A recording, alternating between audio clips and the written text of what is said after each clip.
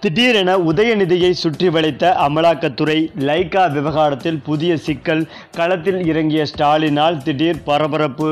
வாங்க அது என்ன தகவல்னு விரிவாக பார்ப்போம். அதாவது முன்னணி சினிமா பட தயாரிப்பு நிறுவனமான லைகா அலுவலகங்களில் அமலாக்கத்துறை அதிகாரிகள் திடீரென சோதனையில் ஈடுபட்டு வருகிறார்கள். இந்த சோதனையின் பொழுது அமைச்சர் உதயநிதி ஸ்டாலின் நிர்வகித்து வந்த ரெட் ஜெயின் பட தயாரிப்பு நிறுவனத்துடன் கோடிக்கணக்கான ரூபாய் பரிமாற்றம் நடந்திருப்பதற்கான ஆவணங்களை அமலாக்கத்துறையினர் கைப்பற்றியிருக்கிறார்கள். அதன் அடிப்படையில் சென்னை வேளச்சேரியில் உள்ள உதயநிதியின் நெருங்கிய நண்பர் ஒருவர் வீட்டிலும் அமலாக்கத்துறையினர் சோதனை நடத்தியுள்ளனர். மேலும் எழும்பூர் எத்ராஜ் சாலையில் உள்ள உதயநிதியின் ரசிகர் மன்றம் மற்றும் அறக்கட்டளை அலுவலகம் நடத்தி வரும் வழக்கறிஞர் பாபு என்பவர் அலுவலகத்திலும் சோதனை நடத்தியுள்ளனர். இந்த சோதனையின் பொழுது பாபு இல்லாததால் நேரில் ஆஜராகுமாறு உத்தரவிட்டிருந்தனர். அதன் அடிப்படையில் நேற்று சென்னை நுங்கம்பாக்கத்தில் உள்ள அமலாக்கத்துறை அலுவலகத்தில் பாபு திடீரென ஆஜரானார். மேலும் லைகா நிறுவனம் உதயநிதியின் ரசிகர் மன்ற நிர்வாகி அலுவலகம் உதயநிதி நண்பர் வீடு என பல இடங்களில் நடைபெற்ற அமலாக்கத்துறை சோதனையில் முக்கிய ஆவணங்களை கைப்பற்றியுள்ளதாக தற்போது தகவல்கள் வெளியாகி வருகிறது.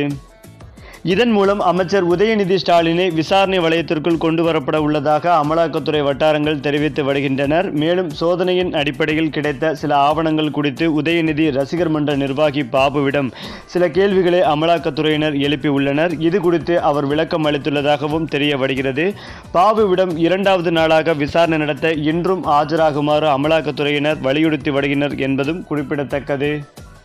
இந்த நிலையில்தான் திமுகவின் நற்பெயரை கெடுக்க மத்திய அரசு செய்த சதியாகத்தான் இது இருக்கும். பழிவாங்கும் நோக்கத்திலேயே உதயநிதி மீது அமலாக்கத்துறை அலுவலகம் சோதனை நடத்தி வருகிறது. இதற்கு கடும் கண்டனம் தெரிவிக்கும் வகையில் முதலமைச்சர் மு ஸ்டாலின் களத்தில் இறங்கி இது குறித்து விசாரித்து இந்த வழக்கிலிருந்து உதயநிதியை விடுவிக்க முயற்சி செய்வார் என்று தற்போதே தகவல்கள் பரவி வருகிறது.